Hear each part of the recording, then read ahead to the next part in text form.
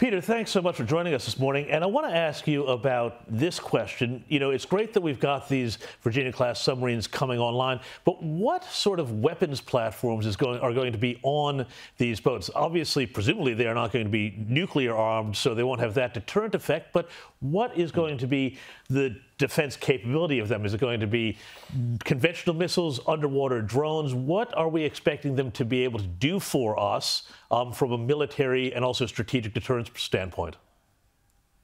Uh, James, I think three things. Um, firstly, what submarines conventionally do is they sink other submarines and they sink ships, and you use torpedoes for that. So uh, we, we already have the American Mark 48 torpedo, a very capable long range weapon. Uh, that will be part of it. Secondly, I think we will see um, vertical launch tubes. Um, uh, uh, which the, the latest Virginia class uh, boats have which have the ability to fire uh, cruise missiles to a sort of a publicly disclosed range of about 1,500 to 1,600 kilometres. So you'll be able to use those to attack targets on the land. Um, and then with these boats, I would also expect they will have um, autonomous underwater vehicles, which will be things that you can uh, float off the submarine, and the crew of the submarine will be able to control an autonomous vehicle that may be operating several hundred kilometres away. So instead of just a submarine, you actually get a network of uh, underwater vehicles operating over you know many hundreds of square kilometres. I, I, think, in a nutshell, that that's the the weapons that the Virginia class uh, submarine will be carrying. Rita. What about uh, the time frame and the cost? Uh, everything you described there initially sounds very expensive indeed. What, what sort of what are taxpayers facing here?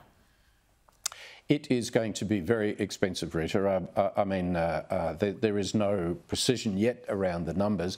I've, I've said in my writing that I think this whole project is about 1% of gross national product. Ooh. So at the moment, defence spends 2%, that's about $45 billion. I, I, think by the time this project comes to fruition, you can add another 20 billion on top of that just for the submarines. But that will be the crew, it will be broadening that industry base, it will be the weapons they use, the cost of operating them. So, yes, it's unbelievably expensive, Rita, but, but really the, the key point to make here is that we have been under investing in defence for decades the only reason we've been able to do that is because the Americans have been providing the, the bigger security overlay in the Indo Pacific region. And that era has gone. Uh, if we're going to get closer to the US, the expectation will be we're going to be spending something near the real cost of what it takes to defend Australia. And I think that's going to lift the defence budget from, you know, 2% of gross national product today to maybe 3% or more uh, in coming years if, if we're going to make a success of this project, and, and let's face it, the last thing we want to do is get five years in like we did with the French boats, only to discover it's mm. not hmm. quite what we want.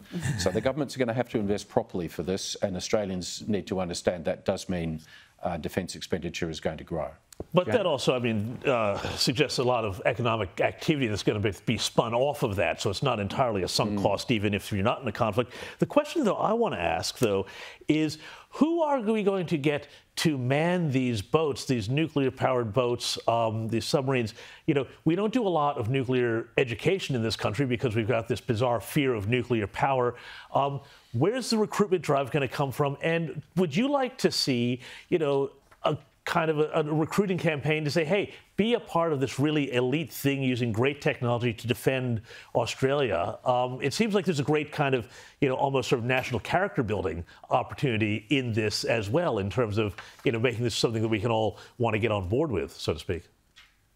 James, I know quite a few young people in, in the Defence Force already who will be absolutely desperate to get into this program because it is going to be so exciting and such a step up in Australian military capability. I, I don't think we're going to struggle to find people uh, that will be wanting to join the submarine service uh, or, or indeed, you know, wider defence industry or the Defence Force. I, I think what individuals look for, particularly at the start of a career, is the idea of, of an interesting career progression that's going to take them to interesting places. Um, something that is nationally valued and resourced instead of a bit of a, a niche business, which frankly uh, defence uh, is a bit like that these days.